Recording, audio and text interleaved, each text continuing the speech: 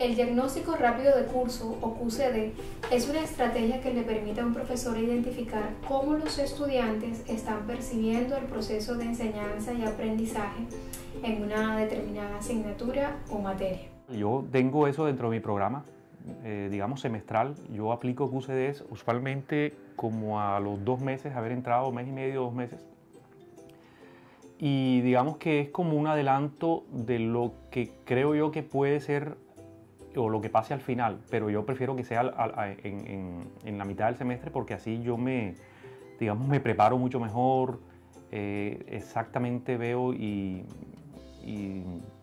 digamos que lo, puedo percibir mediante el, el, resultado del QCD, que es lo que exactamente estoy yo queriendo ver, ¿no? es decir, cómo está el grupo y qué es lo que ellos quieren demandar.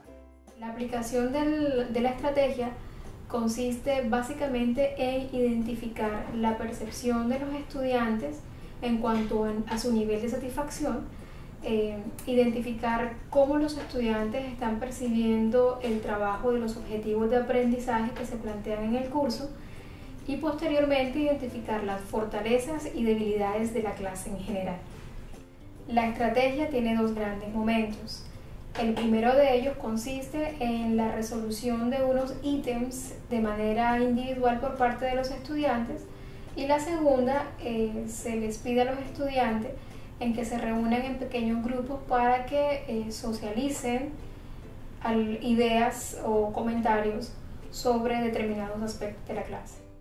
En reuniones entre profesores, así sea tomándonos un café, y, de pronto surgen esas inquietudes de que ¿qué, qué pasa, es que el grupo este yo no sé qué es lo que me pasa con este grupo. Es decir, eso son siempre como las, las, conversaciones nuestras, que a este grupo le pasa algo que no siento que esto suceda. Yo siempre les digo a ellos, mira, eh, tienes estas herramientas, yo creo que esto puede ser una buena posibilidad de que tú te enteres de, de que pueda estar pasando sin que ellos te lo digan y te lo manifiesten, que seguramente no lo van a decir, así como abiertamente.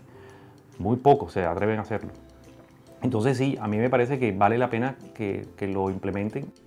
Esa información se consolida en un informe que es enviado al profesor. Una vez él lo recibe, se acuerda una cita o reunión de retroalimentación con la intención de profundizar la reflexión a partir de los aspectos más relevantes del informe. El servicio se solicita por vía electrónica contactando a Katina Camargo al correo catinac.uninorte.edu.com.